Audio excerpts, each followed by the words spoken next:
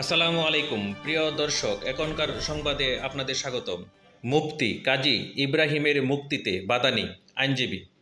উস্কানিমূলক বক্তব্য দেওয়ার অভিযোগে কারা দণ্ডপ্রাপ্ত মুফতি কাজী মোহাম্মদ ইব্রাহিমের মুক্তিতে বাদানি তার বিপক্ষে থাকা এরকম দুই মামলায় তিনি জামিনে থাকায় তার মুক্তিতে বাদানি বলা হয়, জানিয়েছে তার আইনজীবী। সোমবার ঢাকার সাইবার ট্রাইব্যুনালে বিচারক এ কে এম জুলফিকারের আদালতে আধুনিক নিরাপত্তা আইনের মামলায় ভুল কবুল করেন কাজী ইব্রাহিম। ক্রুটি স্বীকার করে ক্ষমা প্রার্থনা করায় বিতর্কিত মুফতি কাজী মোহাম্মদ ইব্রাহিম গ্রেপ্তারের পর হইতে এ পর্যন্ত যে কারাভোগ করেছে তা সাজা হিসাবে নেন আদালত। কাজী ইব্রাহিমের আইনজীবী শৌকতুল্লাহ চৌধুরী বলেন, মুফতি কাজী ইব্রাহিমের বিপক্ষে তিনটি মামলা রয়েছে। উনি আজ আধুনিক নিরাপত্তা আইনের মামলায় ভুল কবুল করায় আদালত তাকে গ্রেপ্তারের পর থেকে এ পর্যন্ত যতদিন কারাভোগ করেছে তা সাজা হিসাবে পরিগণিত করেছেন।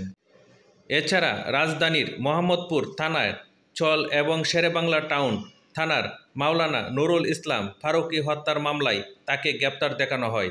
এ দু মামলায় উনি জামিনে রয়েছেন। এ দু মামলায় হাজিরা পরোয়ানা পিডাব্লিউ প্রত্যাহারের অ্যাপ্লাই করা হবে মঙ্গলবার, সতেরোই জানুয়ারি। পিডব্লিউ প্রত্যাহার হলেই তিনি কারামুক্ত থেকে পারবেন। সম্প্রতি তার মুক্তিতে আর বাধা নেই। এর আগে সোমবার ঢাকার সাইবার ট্রাইব্যুনালের বিচারক এ কে এম জুলফিকারের আদালতে মর্টার নিরাপত্তা আইনের মামলায় ভ্রান্তি কবুল করে কাজী ইব্রাহিম।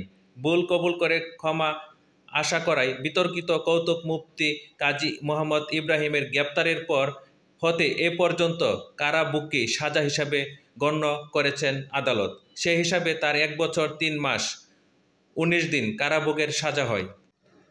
এরপর দুই হাজার একুশ সালের আটাশে সেপ্টেম্বর রাজধানীর লালমাটিয়া বাসা থেকে তাকে গ্রেপ্তার করে ডিটেকটিভ পুলিশ।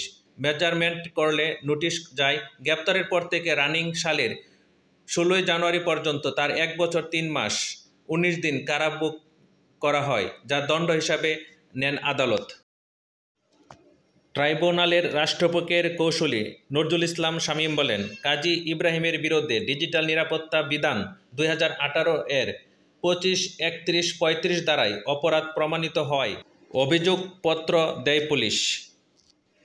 এ দ্বারাগুলোর সর্বোচ্চ সাজা পাঁচ বছর কারাদণ্ড। যেহেতু তিনি ভুল স্বীকার করেছেন, সেহেতু বিচারক খুশি হয়ে তার কারাবুকটাই সাজা হিসাবে নিয়েছে